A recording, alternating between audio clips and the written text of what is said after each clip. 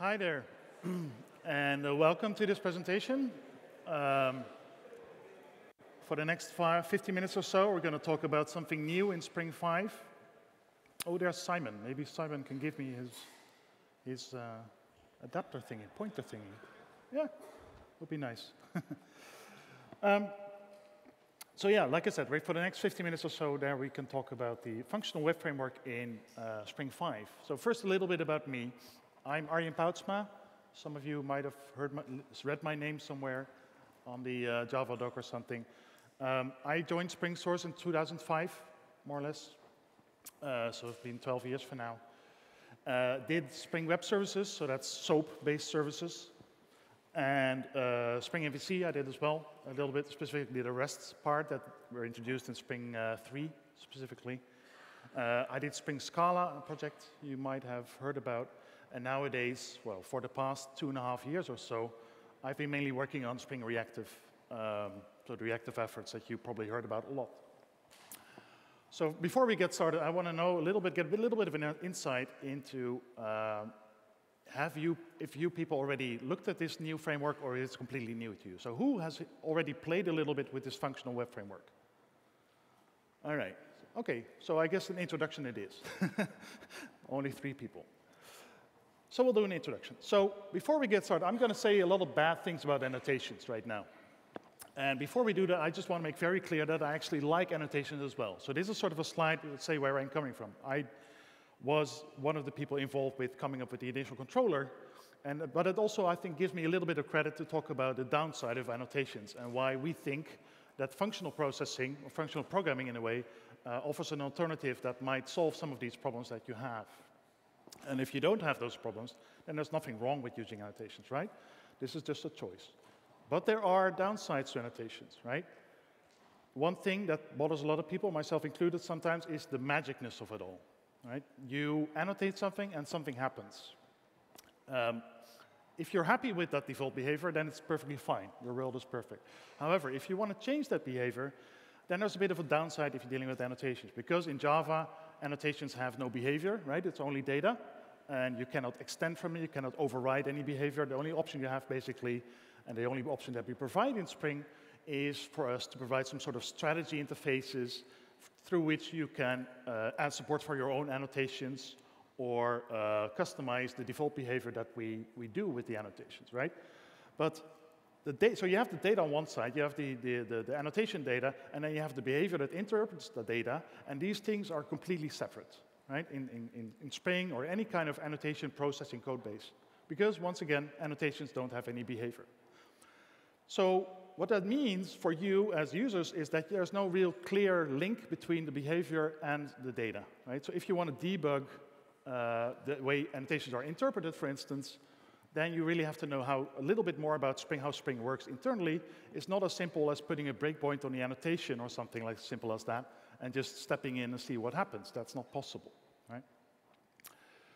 Another thing is that if you're dealing with annotations, and specifically runtime annotations, which are by far the, the ones we use most in Spring, is that you have no choice but to deal with reflection. Right? You have to use reflection in order to find annotations on a class, on a, or any type of method, or um, and that has a, uh, a performance downside, right? Even though reflection these days is fast, it's not as fast as non-reflective code, right? There's no surprise there. Uh, but it also has, and that's probably more of a problem for us than you per se, is runtime type erasure, right? Any kind of reflection you do doesn't carry the code that you provide doesn't really have as much uh, generics available as you typically have in a compilation stage. So there's some downsides there as well. But I think the most important downside to annotations is, once again, the magicness of it all. So when we started this, this was already, this project, the functional web framework was, well, we, we decided we wanted to do something similar to that back when we started the whole reactive effort. And we basically had two ideas for web framework. The one uh, you already saw a lot of it today, right? The controller, the annotation-based one. We uh, had a code name for that internally called, it was called uh, um, Kirk, I think. I can't remember anymore. I think it was Kirk, right? The Star Trek Kirk, because it was a bit. and then we had the functional approach that we wanted to do, and we called, decided to call that uh, uh, Spock, right? So you have Kirk, a bit more flashy annotation style, and you have the logical, crunchy style, which we called Spock. So this was a long time coming. That's what I'm trying to say. And we basically wanted to do something with the new APIs that are offered in, uh, in Java 8, right? Java util function, Java util stream. I'm sure you've already looked, taken a look at those or played a little bit around with those. And I really think it's interesting that they offer a, a new way of programming within a JVM, right? A new functional, almost purely functional way of doing it. So that was one goal. Another goal we had was saying, okay, we have a lot of feedback these days with uh, our internal uh, uh, Pivotal Labs guys, right? The, the guys who do consulting for us. And one of them, or a couple of them, had a little bit of a, a, complaint about this magicness that I talked about earlier, right? Saying it's very hard to determine for us where a particular piece of behavior comes from, right? And how we can override it and, and how we can change it. Um, so that was another design goal, right? Saying, okay, maybe we should try to make this more like a library where you pick the pieces that you want and, and, and combine them in a way that's specific for your application. And maybe less of a framework where you have a particular model and you, you uh, um, basically assume that the framework provides whatever you need. So that also means that you have to be a bit more explicit. So this framework is a bit more explicit than the annotation-based one. It also means, though, that it's a lot more customizable. It's very easy to override something, very easy to see where a particular piece of behavior is coming from, um, and to put in your own behavior as well. Another goal, well, not really a goal, but it was sort of a side effect of what we used to say, okay, it would be nice to see if we can do without reflection, right?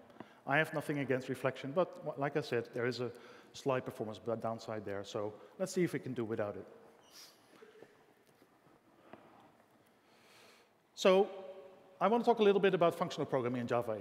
Right? I, there's a, I don't want to talk about purely functional programming as the way it's taught in university. I want to have a very pragmatic approach to functional programming within the scopes of Java 8.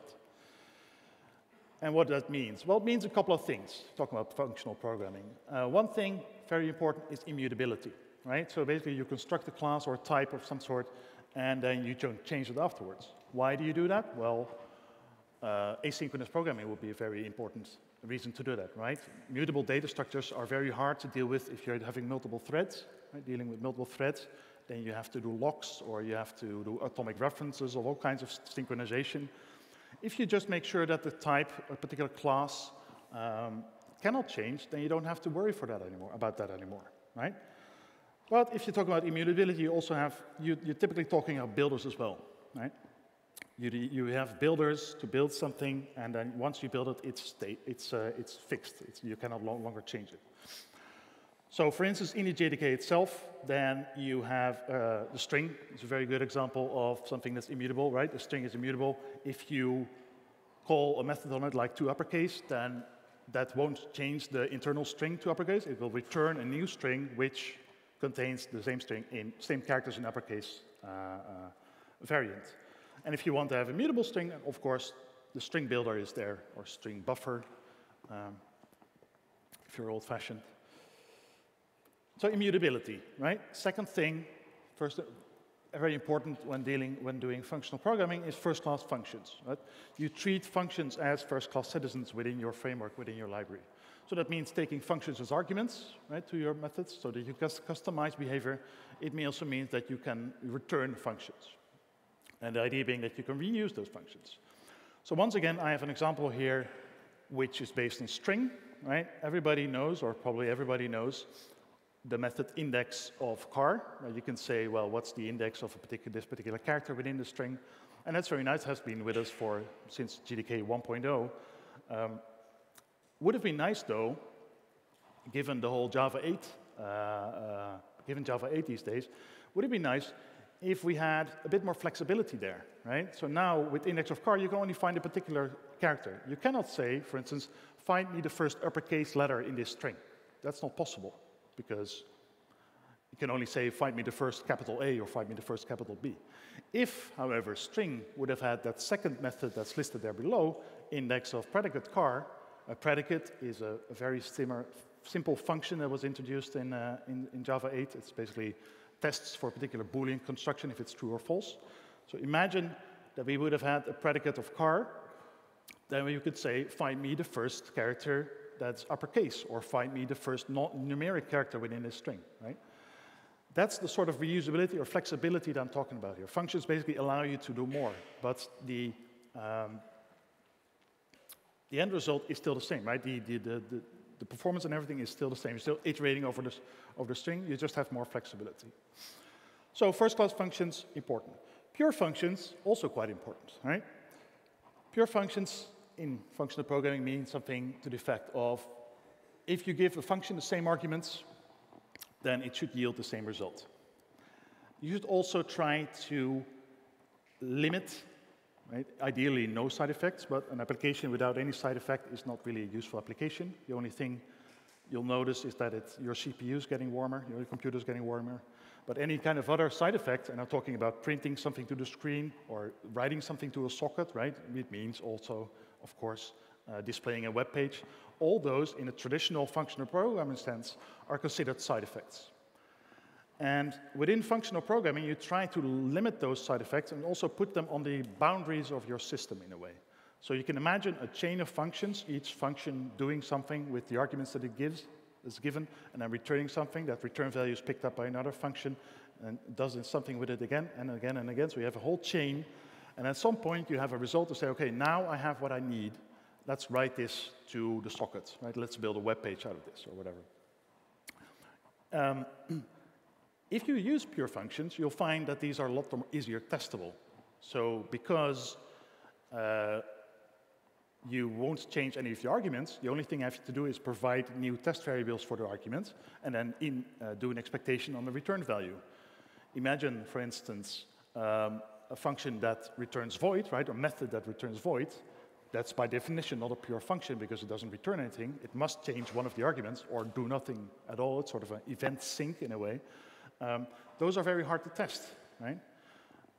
think about, for instance, the servlet world, right? The traditional servlet has a, uh, the servlet has, takes two arguments, the servlet request, servlet response, and returns void. Um, if you want to test that servlet or any kind of similar method or class that has a similar contract, you would need to create some sort of mock uh, servlet response, right? That's how you typically test these servlets. You provide a mock, and then you later you verify whether the mock that you provided as an argument actually contains the real value. Well, it's a lot easier just to pass on real values and get something in return which you can best uh, test it again. Cacheability, parallelization, I'm going to go into those, but those are also benefits of having pure functions. Now, where does this all fit in, right? The whole functional web framework. If you consider this picture, this is basically what we do these days, and now I can actually see if I can use this smart pointing device without crashing my computer, preferably. How do I do the light thing? Huh?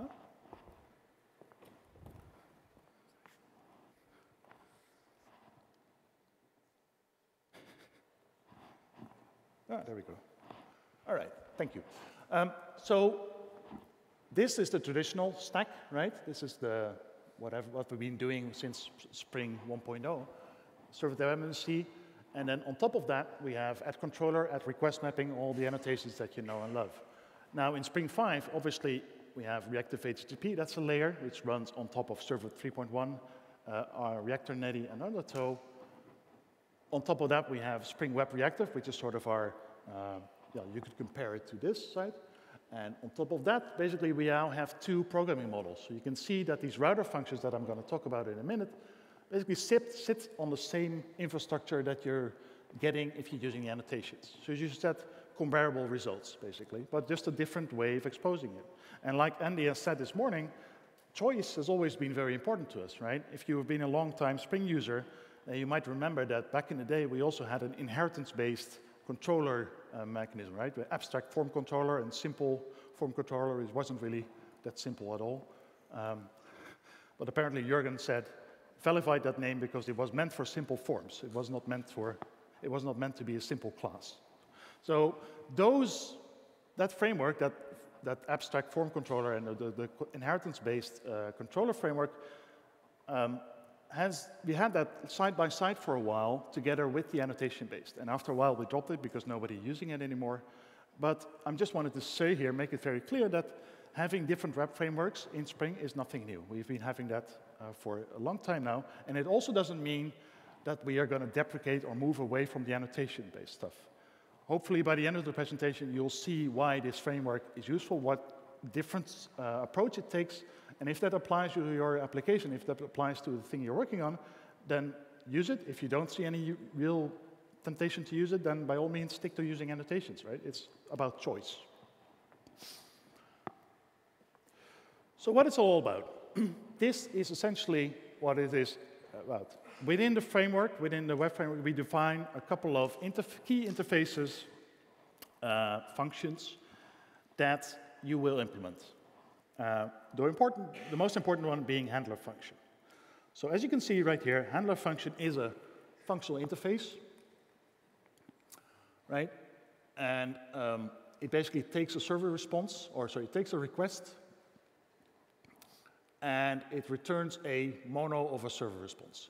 Here's another way to look at that, but then in terms of a, of a normal Java util function, basically. But those two things come down to the same thing. So this is the contract you're dealing with. This is the, basically, this is comparable to a controller method in an add controller, so your request mapping method. That's basically what this is. So this will, this function will typically look at the request, maybe take out some stuff, right? If it's a post or a, some sort of form submittal or something else, take something out of the request and then uh, write a response. And you also see that this um, interface is purely functional in the sense that it doesn't take both request and response as arguments and returns void. Rather, it returns a response object. And later, you'll see how you can use that when we're talking about filters, right? You can have a whole filter chain where each filter takes the response that was provided by a previous filter and then adapts it, etc. But for now, just know that you're getting a request, you have to return a response. Oh, it works too. Um, so this server request that I showed here is basically very similar to request entity. It's immutable. I hope I explained why we did that, but it's a request coming in. You cannot change it. You cannot add headers. You cannot do anything. You can, however, build a new request. Right? Reasons for those will become apparent later, but know that it's possible to create a new request based on an existing request and just override particular headers, etc. Um, one big difference with request entity and why we in fact decided to create a new type for this is that it's completely Java 8 based, right? So rather than returning uh, null for a non-existent value, such as a content type, right? Imagine a request without a content type. These days, or within server request, we actually return an optional, right? I know, hope that everybody has at least seen optional and dealt with it. Basically, the idea of optional is that you can map based on the return value instead of checking it for null, etc. Um, so yeah, headers, access, content type, but also getting access to a list of them, etc. The body um, you can convert to a reactor type, right? So a mono in this case, you can say convert this mono into, oh, sorry, convert the body into a string or a POJO, right? My own person class. I'll be showing that later in the demo. Um, and then um, you can also turn it into a flux and all kinds of other types. Response, same way, uh, similar to response entity, it's also immutable, but you have a builder. So you typically use the builder to build the response. Um, you can, it's also Java 8, right? We have support for zone date in there, just because um, that's a heck of a lot better than Java util date. Um, we have header access, and you can also provide your body, once again, through a publisher. Um, you can see here that you can provide a body as a publisher, that be it a mono or a flux, or maybe even an RxJava uh, reactive type, that's all fine. You do, however, have to specify the type. The reasons for that become later, but basically know that um, because this is a stream, right, we cannot simply inspect the publisher to see what kind of elements are contained in it, right? And once again, because of runtime type erasure, we don't really know the type T that's provided here, right? That's not ready for us uh, at runtime. So specifying the class basically allows us to know upfront what kind of data is coming. So we say, oh, this is a person object. So let's get ready the JSON, uh, JSON marshaller for this particular person class. That's why you have to provide the class there. So first of my demos will start now. I have a whole bunch of them, little small bits, but um, so in here, I hope, yeah, this is probably visible all the way in the back, right? Is it good? Yeah, all right. Okay, so I have a little project here. It's also on GitHub, so I'll give you the link at the end of the talk. But know for now that we have a person, right? This is a Pojo. Has some uh, Jackson annotations on it. The nice to string.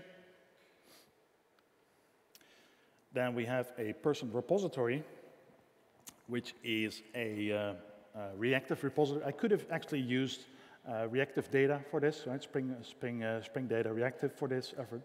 Uh, however, I decided to focus only on the functional programming, on the functional web framework. So instead, I created a little dummy in-memory implementation of this. But you can imagine that this same contract can easily be implemented by any kind of reactive data store, be it MongoDB or be any kind of other choice that you have there, right? These are all uh, reactive repository signatures. So first off, getting a person given a particular ID um, that will return a mono, so one zero or one instance of a person class, right? All people will return a flux, so that's a stream of, well, zero or more um, persons in this class. And then finally, we have a safe person, which takes a mono of a person, right? So this will probably come out of the request somehow, right? Probably with some sort of HTTP post method, um, saving it. And then we have a mono void return type, which is a bit of a strange, might require a little bit of an explanation. Uh, basically, that indicates uh, a sort of a completion signal. so when you save a person, obviously the, that result will not be saved right away. It will take some time. And that mono void basically is a, is a flag or an indicator when the save operation is completed. So we can use that as a, you can also compare it in a way to something like a future or something, right? Just saying, okay, there's not going to be any elements in that stream, but there's going to be a completion signal at least. And that's basically what that, uh, what that mono void uh, used. You'll see if you look in the Spring reactive code base or the Spring Webflux code base, uh, you'll see a heck of a lot of mono voids being used all over the place. Right, so that's all my backend infrastructure, nothing fancy so far. Here, we actually have a person handler, but I'm going to close this for now, and I'm just going to start a new one. So let's close all this.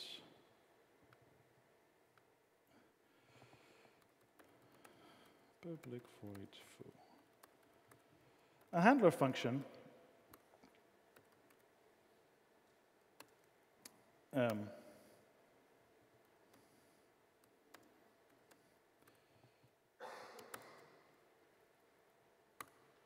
is basically a function of a request. Given a request, you can do something with it, right? You have to return a response. So what, do we, what can we do, for instance? Well, we can say the very simple example, say, okay, server response. And then we say, okay, so we want to return a 200, okay, status code, and then build. Very simple example, right? This would be, this is a perfectly fine example of a handler function, right? And then IntelliJ gives me some suggestions saying, well, you could replace that with an expression, so you don't need to return anymore. These are basically the same. Um, so yeah, you can, basically what I'm trying to say here is you can have write them inline, right, like any Lambda. However, if you do that, you'll end up with a lot of inline function one against after the other. Um, it's typically a better idea to try to combine them somehow, right, like you do in a typical controller class to put related handler functions next to each other in a class. Um, and you can easily do that with a method reference. So rather than writing handler functions this way, you can actually also write them as a method. Right? So we can say, I can write a method that returns a server response. Oh, response. Call it uh, do it given a server request, and then I can say, like so, right? This is also a handler function. And why is it? Well, I can easily show you. I can just say, um, go.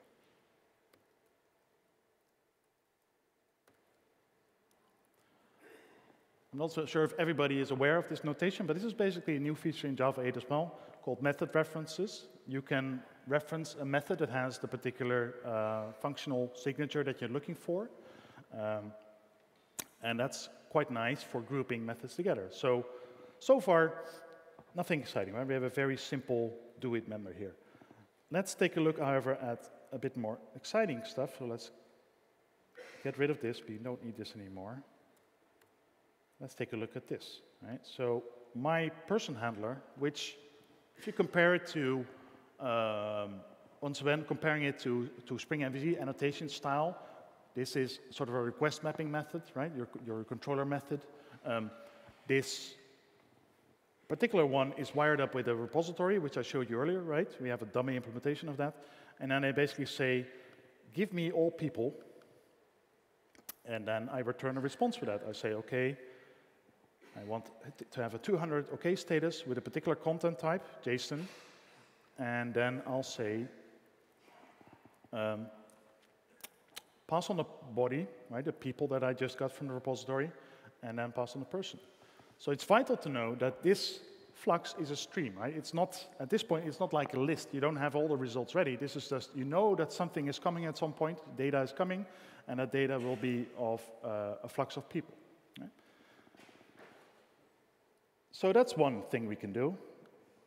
This is another thing we can do as in a, in a request, right? Where we can say, okay, take something from request. So this will typically be mapped somehow, we'll take a look at that later, but this will be mapped to a HTTP post method, where we have some data being posted and return the request data into a mono in this type of person class, right? We can also say, turn it into a flux, and there's a whole pluggable mechanism as well uh, available if you want to override this and, and provide your own custom.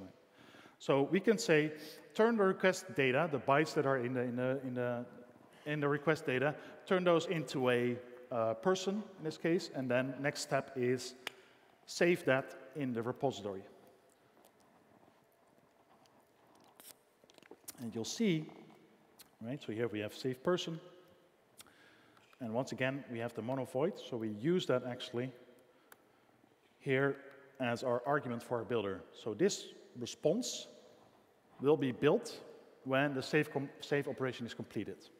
You don't have to do it this way. You could say return OK before it's even saved, but this way we know for sure that if the response is being provided, then the, the thing has been saved. Any questions so far? I do want to, if you have any questions, hard to follow them, please raise your hand. Sorry. Yes, I will. Sorry. Yeah, yeah, yeah. Open this one.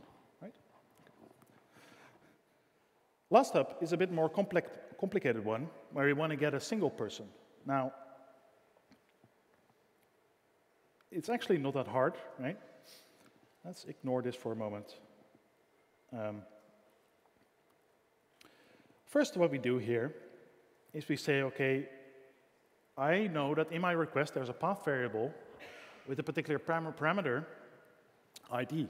So you can already see that this is going to be uh, some sort of uh, slash persons and then some sort of ID is taken from our request variable, right? Um, ignore this line for a moment, we'll talk about it later. Then I'm going to say, okay, um, take that person, that single person that you find, create a content type, and create a body from it, an object. Similar to what we do here, right? Except now that we have a single instance instead of a whole flux, a whole, a whole flux of them. Um, it gets a bit more tricky if you want to have something that returns a 404, right? So ideally, if you're doing a request for slash a particular resource and we can't find that particular person in our repository, we want to return a 404 to the client saying, well, this, is, this particular person is not available. And that's what we do in the other methods. What we do here is we create an, an alternative response, okay, saying not found, so this will be a 404 status code. And then we do a little bit of trickery. We try to get the person from the repository. Normally, right, in a non-reactive world, we would just say if person is null, return 404, otherwise uh, return the person, right? However, this is, once again, these are all streams. We cannot, we cannot inspect the person mono. We cannot say, well, the only thing we can do is this. We can say, okay, person is person mono dot block. And that word should already warn, give you a lot of warnings, all kinds of red lights that you don't, you don't want this in any kind of reactive asynchronous uh, scalable code, right? You're blocking at this point. You're waiting until the, until the person becomes available. So you're holding up the thread at this point. So no block. Block, bad. Um, what we do instead is to say, okay, let's inspect that mono, map it to this particular response if, it's, if a person becomes available, right? Because then we are in a flat map operation, we're being provided a person. Otherwise, and this is basically functionality that's in, in, uh, in, uh, in Reactor, otherwise, just return not found. Right? So this will say, okay, I'm getting a person, let's see if there's an element in that stream. If it is, then show that element as JSON. Otherwise, give a, a 404 response. Clear? I hope so. All right, so that's handlers, right? And only, so far, we've only been dealing with code that actually deals with the request and creates a response. We have not really been mapping anything. We have not really been uh, routing to it. And that's because there's a separate part for that. For that part, we have a particular interface called router function. Um, router function uh, also takes, yeah, I'm pointing at this thing, that's not very useful for you guys. I should point there. Um, router function takes a request as well, and then it returns a mono handler function. So if you know your Spring MVC, you'll see that, uh, or Spring in general, you'll see that this is very similar to the handler mapping contract, right? Handler mapping is an internal Spring type that we have, which you don't really know, have to know about, but it's similar, right? So this, what this does, saying, okay, given this particular request, give me, let me know if there is a handler function, a function that that can handle it. If there isn't, right, so mono, so the result can be either zero or one. Uh, if there is, then I'll use it to handle this function. If there isn't, then I might look for the next option, right? um, this is the way you typically create these router functions. I'll get to a demo in a minute, but I wanted to show you this first. Um, we say you can create a router function given a particular predicate and a particular handler function. And the implementation is not that important. Nesting, I'll talk about in a minute, but let's first take a look at this. So this request predicate, what does that mean? Where does that come from? Well, that's another function, a function called request predicate. And that function basically just tests whether a particular property is true on the request.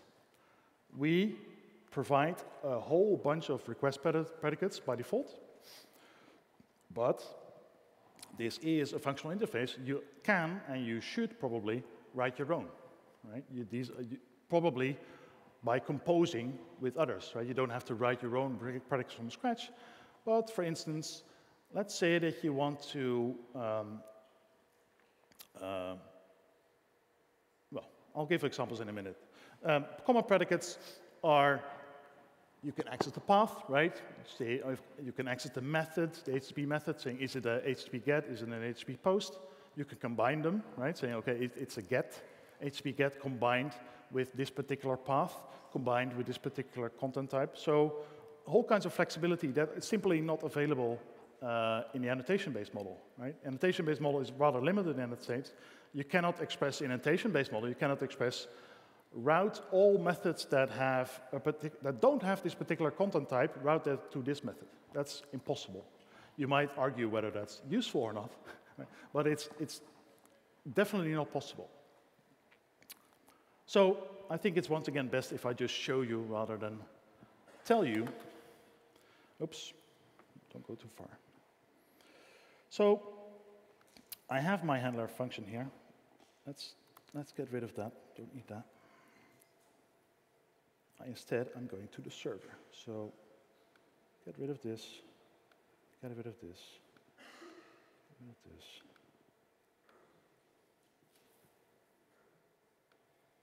Let's get rid of this as well for now.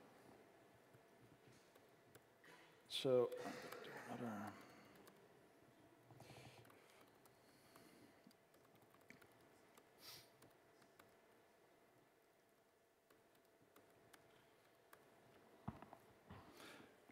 Once again, I can type this any way I want.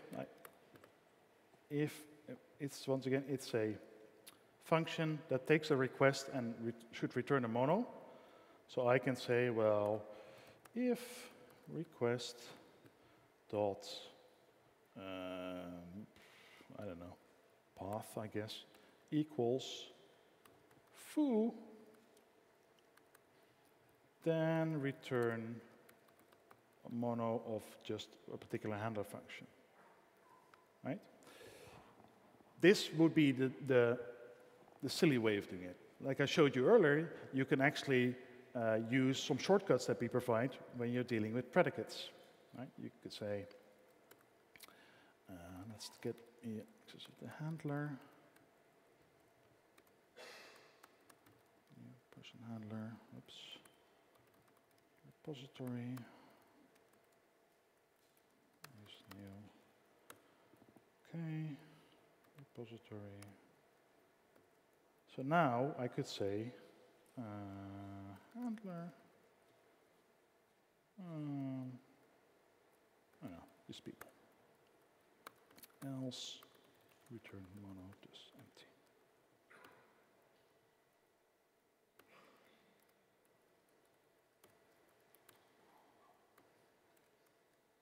empty. This would be a very basic way of routing your, writing your own router functions. This is not the way you typically do it, but I just wanted to show you how it works internally so you can understand better, I hope. So we'll basically do a little testing. If the path, if this particular thing, then return this uh, uh, list people handler function, right? Otherwise, don't return anything. And that's obviously a very common pattern. So common that we do that by default. But as I showed in the slides, this is not what you do typically. What you do typically is use predicates. So you can say dot get, uh, let's start simple. Let's say path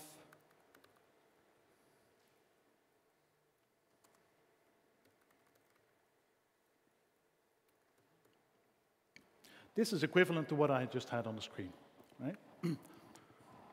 we're testing on a particular pattern slash foo, and then if that particular pattern applies, then return this particular handler method, right? But we can compose on that. And that's the nice part. We can actually say, make this a thing, make this a predicate. And predicate is predicate and request get. Well, let's make it a bit more clear.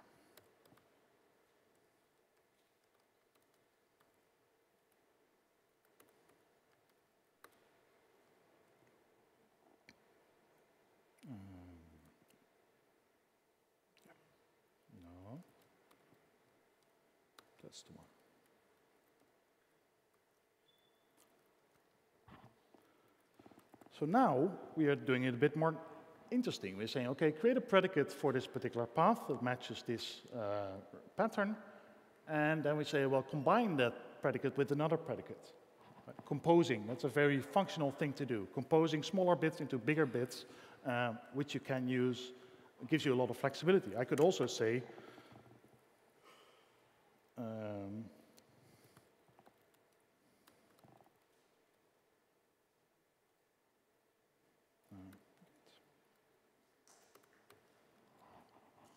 now, it gets a bit silly, but still works. Right? We have a predicate matches this particular path.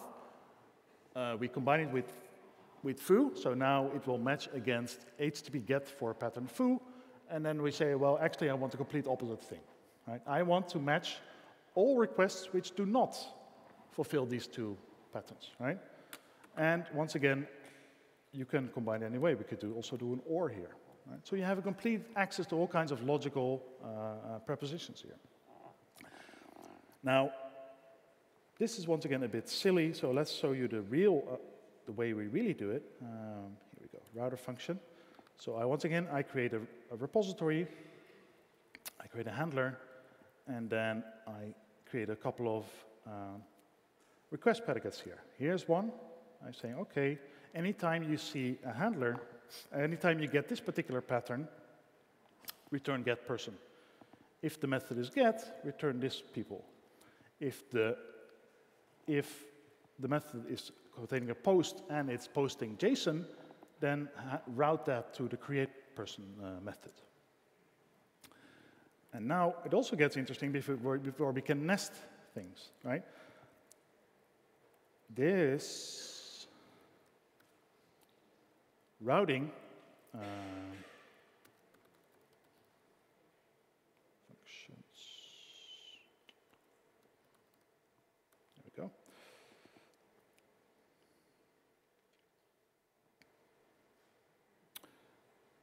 The route method that we've been using so far takes a predicate and then a handler function to point to. The nest method takes a predicate and then actually takes a new router function. So you're router, routing to other routers, basically, having an extra step of definition. And here you can see how we use this. You can see, you see here, we nest this path. So all the, the router functions are provided here as this parameter is nested with this particular path. So all routers, all router functions in this nesting, in this nesting, have this particular path applied to it. And here we do the same thing. We nest it with an accept JSON, which means that these, this route and this route both have this applied to it and this applied to it. Does that make sense? So you're very easily uh, uh, only have to define, you can compare this in a way, I guess, to uh, top level on a type level uh, get mapping, for instance, or type level request mapping. You can put a request mapping on the class level rather than a method uh, in, an in the annotation-based programming model. And then that predicate will apply to all the methods contained. Same thing applies here. We're nesting it. We're saying every router that we define follows, following this particular predicate person has these particular things applied to it. So both um, get person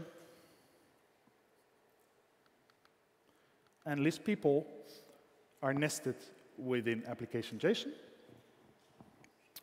And then we have another one where we say, well, this is a post, so we don't really care about if the accept type is JSON or not, because we're not returning any type.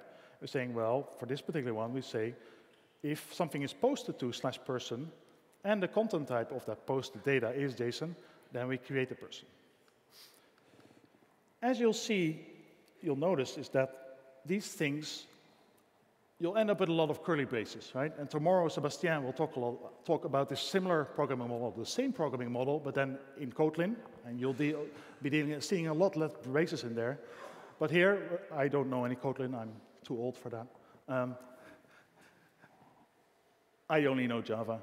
Um, so you, you have to have, you have to deal, unfortunately, with these braces. It doesn't mean that you cannot make it readable. You can say, these are basically my um, JSON providers, right? Both of these routes provide JSON. This, I think, makes it a lot more readable as well, right? So now I have, if the every all things match person, if they provide JSON, then they are listed here. If they don't, then they're listed here. But the important part is, I think, that these are components that you can play with, right? These are, you can combine them, you can name them anything you want, and you can uh, write the functional code any way you want to. Ooh, running a bit out of time here, so maybe I have to hurry. Any questions about router functions? Well, okay, there's one there. I have a little bit more to talk about, so maybe okay. hopefully keep it short. Just a very short one. Uh, sorry. Uh, Where is the actual JSON serialization? Because we have the accept here, but this is about routing, and in the handler, you only return the flux of right. person models. Yeah. Basically, what happens behind the scenes is very comparable to add response body. Uh, if you use add response body with an add controller, with a yeah, in a controller model, right? So we take this flux, we use the same underlying technical components to convert this person or stream of people into JSON.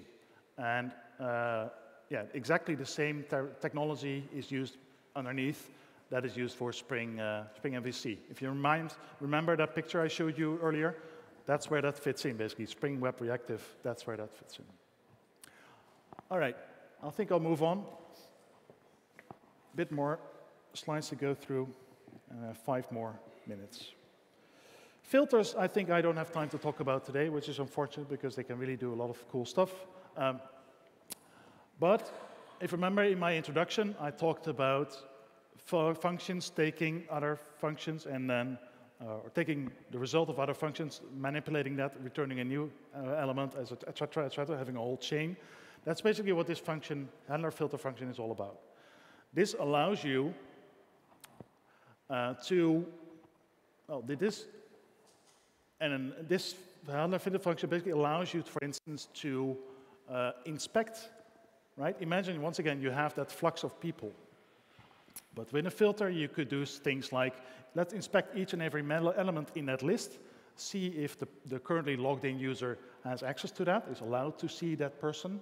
If not, remove it from the flux, right? So you're filtering, basically. And these filters can be applied to not just a single handler method, but a whole range of them. You can apply them at the top level, and then every router function that falls underneath, follows underneath, will be applied this filter upon. I'm going to skip the demo for that, um, because I only have a couple of minutes left. But for now, I want to talk a little bit, final part, about running this thing, right? So how do you run this? Basically, you have two options. You can run it in Spring Boot, and as it says here, what you can do is configure router functions as beans in a configuration class. And Spring Boot will basically pick those up. Um, well, what I say here is not exactly true yet because I haven't committed it yet, but next, as of next week, you'll be able to do that.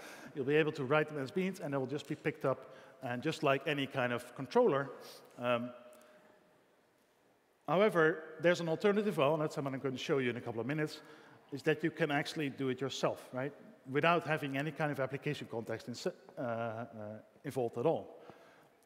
Converted your particular router function into a HTTP handler, which is a low-level contract we have, sort of comparable to Servlet in a way. Um, and then you can run that on Reactor Netty, Tomcat, Servlet 3.1 or higher, and Undertow. Um, I think especially this is something very interesting that we offer I think the only ones that we do uh, offer, and then the screen will go, offer servlet support because in Servlet 3.1 you can actually do asynchronous uh, um, programming quite well. We spent a lot of time making sure that our servlet support was there. So you can actually switch between more reactive uh, approaches like Netty, but also something like Tomcat and Undertow. So that's the final part I'm going to show today, I hope.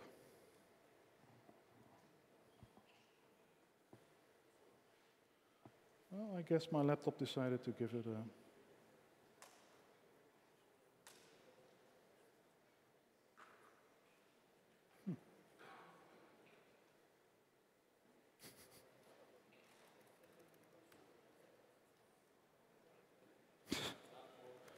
oh well. I guess I have time for questions after all. I'm not going to be bothered with this because it, I can't get it to work. So, questions then, 10 minutes. Is there any question? Yes, there's a question here. Wait for the guy with the microphone.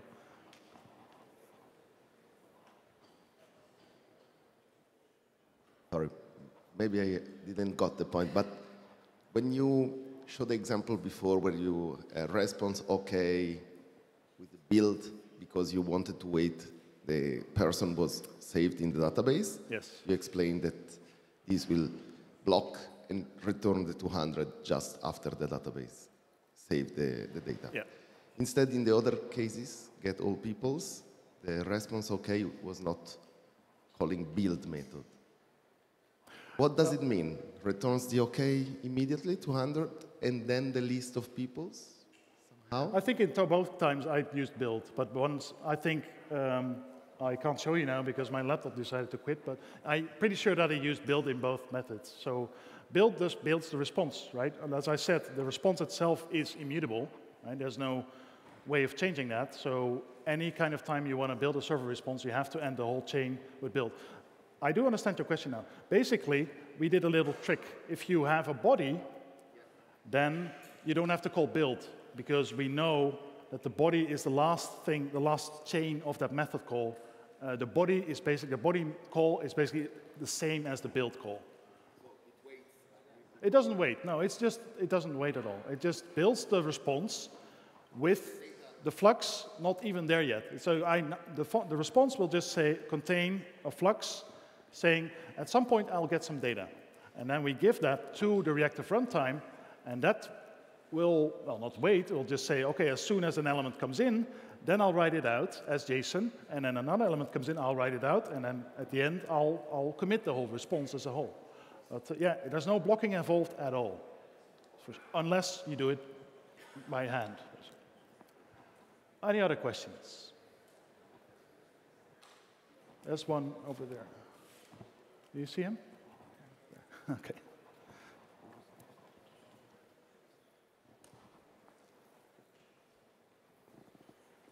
Uh, with, in the example with not found, that not found response is built every time, no matter if the uh, thing was found or not. Isn't there a way to use also method reference so it's more effective and then if the person is there, the not found response isn't actually built? I'm, I'm not sure I understand the question. Could you repeat? Uh, so the not found response in the example, yeah. it's built every time. So yes. even if the actual oh, response yes. will be... I see. So you basically want to know, is it possible for me to only build the not found response if it actually isn't found? Yes. yes. Uh, the reason I put it on a separate line is for readability. I could have just inlined that and it wouldn't be uh, invoked at all. Probably I might have to use a provider then instead of a, yeah, I probably had to change a little bit of code, but yes, it's definitely possible. Yeah, okay. for sure. the only reason, once again, I did it was readability, as you can know. Um, this is, once again, the code, if you want to take another look at it, it's on my uh, GitHub account. I can't provide a link now anymore, but basically my GitHub name is Poutsma, that's my last name. So if you look there, you'll see web function sample, I believe it's called. Uh, so you can take another look there. One more question. We have time for one more question. Oh, there's one, yes.